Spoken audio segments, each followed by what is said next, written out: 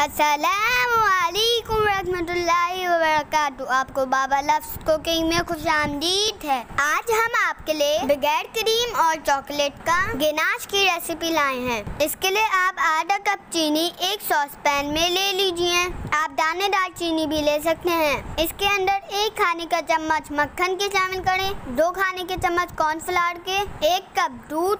दो cup cocoa powder के डालकर अच्छी तरीके से मिक्स करें। जब सब चीज़ें यकजान हो जाएँ तो इसे मीडियम आँच पर चूल्हे पे रख दें और मुसलसल विस्क से हिलाते हुए इसको पकाते जाएँ। इसे अब चूल्हे से उतारें और दो मिनट और चम्मच चलाते रहें। अगर आपने चम्मच हिलाना बंद कर दिया तो ये स्मूथ नहीं बनेगा। लीजिए, आपका चॉकलेट गनाश तैयार है।